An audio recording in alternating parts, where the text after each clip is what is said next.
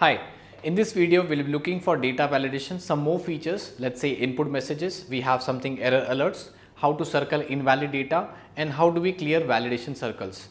Now on the screen if you see I have some numbers written, just some blank data over here that is number 900, 750, 250. Now what I want is I'll just I want to insert the data validation of whole numbers in this column. So what I'll do is I'll just use the go to data tab, data validation and I'll go to settings. I want the limit as for whole numbers between 10 to 100. So I'll select here as whole number between 10 to 100 and click on OK. So once I click on OK, the rule is applied on this area. Now if I try to enter some number here, let's say if I enter here 25, it is accepted. If I enter here 900, it is not accepted. The reason is validation is between 10 to 100 and if I click on cancel, but now if you observe before applying a validation rule, I had some data in that let's say 700, 950, uh, 750, 900 and 250. Now these are invalid data. So I have an option for data validation. If you see here in the data validation, there's an option circle invalid data. So once I click on this option, you can see the invalid data which is now there is been circled. So if you want, you can understand. Now you can just go here and correct it. You can see it is 25, not 900. The circle will automatically go away. Now if you accept these numbers, you want to keep it as it is. So what you can do is, you can just go to data validation and you can ask them to clear validation circles. So once you click on clear, the circles will go away. So this was one method. But now next one is about the information message. Now if you keep a cursor here, when the user is using for the first time, he doesn't know that it has to type between 10 to 100. So you can uh, help him to understand that is the input message. So same method, you can just go to the data validation. You can bring this dialog box, input message, show input message when the cell is selected and you can type any data here that is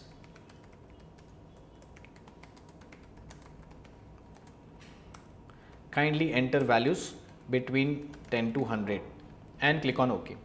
So now whenever you keep your cursor in any cell, okay, I have applied only for this cell. So if you keep a cursor in this cell, you will get the information messages. Now, but when you when you just enter some invalid data, let's say if I try to enter some invalid data, let's say if I enter 700, enter. So I get this error message. The error message says the value doesn't match the data validation and so on. What I can do is I can customize the error message. The message can be according to my requirement and I can just help user to understand not to repeat the message. So what I'll do is I'll select this data and I'll go to data validation and yeah in this error alert I'll just type my own message. What is that message is?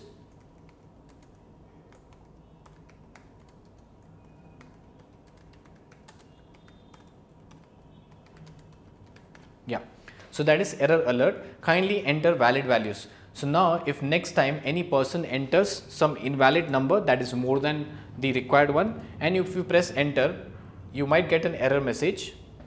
So now if I enter some value, let's say in this cell, if I enter value which is greater than that is 800 and when I press enter, so I'll get that same error alert which I have typed. So you see that is kindly enter valid values.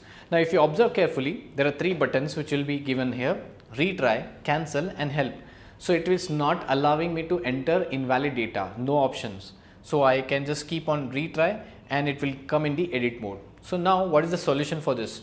Suppose I want to enter some data, sometime I want to enter data which is actually valid. So I can just go and change the settings. What is the setting is?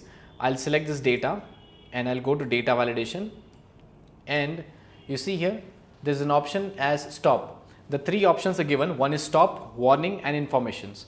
So I'll select the warning, you see the icon has changed. If I select the information, the icon has changed. Now we have seen the stop, there were three buttons, retry, cancel and help. I'll go for the third one, second one that is warning. So once I click on warning and click on OK, now this value if I try to type that is 800 and press enter, now you can see earlier it was retry, cancel and help, now it has changed to yes, no, cancel and help. So yes means it is accepting it, but it is throwing a warning, right? So if I say yes, the value is accepted. Remember, I have applied a data validation, but still it is accepting. The reason is I have changed the settings in error alert. right. So, that was I have made it as warning. Let us see what is the third one that is the information. So, I will just select the values again and I will go for data validation. I will try to change the settings. This is the settings I will change here. I will change into information. See the icon has changed. Once I click on OK and now what I will do is I will type here some value other than the value. So, if I type here value 9, remember 9 is an invalid value. Press enter. Now, see what is the message given here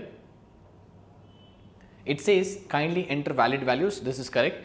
Error alert, that is also correct. But if you see that's information, now the buttons have changed, that is OK, cancel and help. So, three buttons are here. So, information will inform you, warning will ask you yes or no, confirm it. Uh, and the third one is stop, it will not allow you to do it. So, based on your requirement which is useful, you can use the option and I will just click on OK. So, the number is accepted. So, I hope you have understood in this video, we have seen different types of error alerts that is stop, warning and information. We have seen how to circle invalid data, clear validation circles and input messages. That's all for this video. Thank you.